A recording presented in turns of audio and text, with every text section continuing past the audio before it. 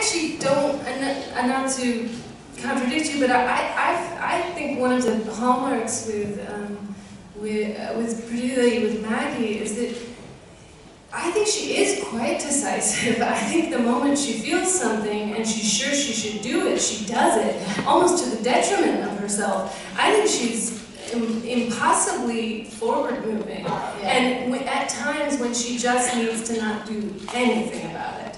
So, I mean, for me, what was what was interesting about Maggie is that she, I mean, her job, what's so great about Rebecca's script is that there's parallels everywhere, was that her job is actually an arts administrator and to work with people who, who have these artistic ideas and try to realize them in the world. How can they be actualized?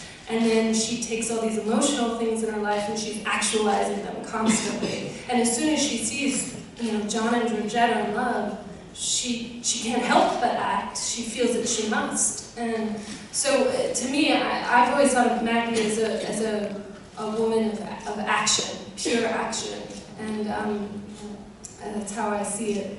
I think that's true.